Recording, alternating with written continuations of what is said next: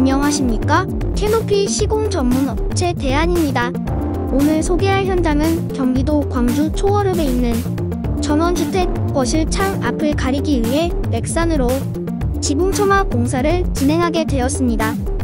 대안에서 전문으로 제작하는 공사 중에 계단, 난간, 복층 공사 및 지붕 공사를 볼 수 있는데 그 중에 베스트라 여기는 데크 지붕은 많은 분들의 관심 대상 이유라 볼 수 있습니다.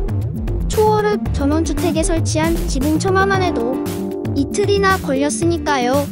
안전하고 튼튼해야 오래 사용할 수 있고 AS나 complain 같은 일이 발생되지도 않습니다.